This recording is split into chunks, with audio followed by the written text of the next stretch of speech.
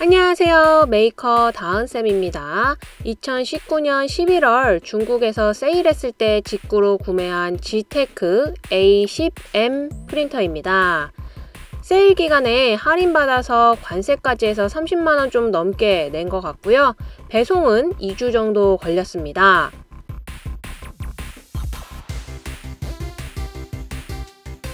일단 중요 사실부터 먼저 말하자면요. 초보용은 아닙니다. 처음 3D 프린터 쓰시는 분한테 추천드리는 프린터는 절대 아닙니다. 어, 이 프린터는 dual extruder입니다. 두 개의 색상의 필라멘트를 섞어서 나오게 할 수 있는 기능이 있는데요. 프린터를 연구하거나 취미 활동으로 하는 분들께 추천드립니다. dual extruder를 사용하는 프린터도 몇 종류가 있습니다. 가격 대비 지테크 제품이 가성비가 괜찮다고 해서 한번 사용해 보려고 구매해 보았는데요.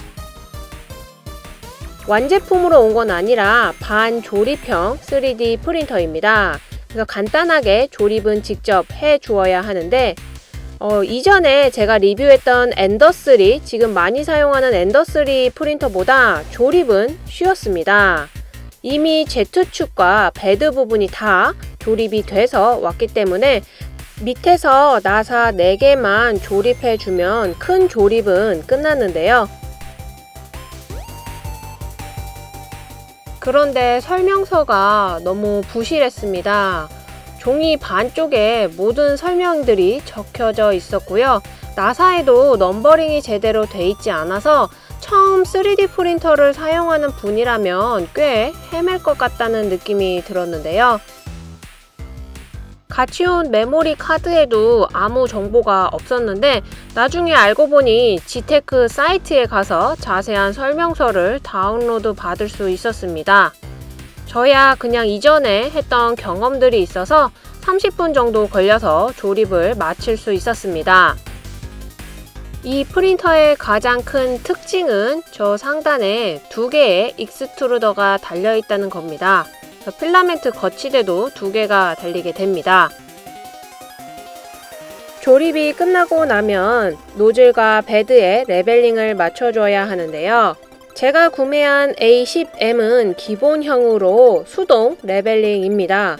원하면 BLTouch를 사서 달 수 있게 옆에 공간이 따로 마련되어 있기는 했는데 일단은 종이를 이용해서 각 모서리를 수동 leveling으로 먼저 맞춰줍니다. 조립과 leveling이 끝나고 메모리 카드에 있는 파일을 출력 테스트하고 있습니다. 하늘색과 흰색의 두 가지 필라멘트를 각각의 extruder에 넣어줬는데요. dual extruder이지만 노즐은 하나입니다. 그래서 각 extruder에서 밀어주는 속도의 차이에 의해서 파란색이 더 많이 나올 수도 있고 아니면 흰색이 더 많이 나올 수도 있습니다. 두 색이 자연스럽게 섞여서 나오는 그라데이션 출력물을 보고 있습니다. 초반에는 하얀색이 91%, 하늘색이 9%인 상태로 출력되고 있습니다.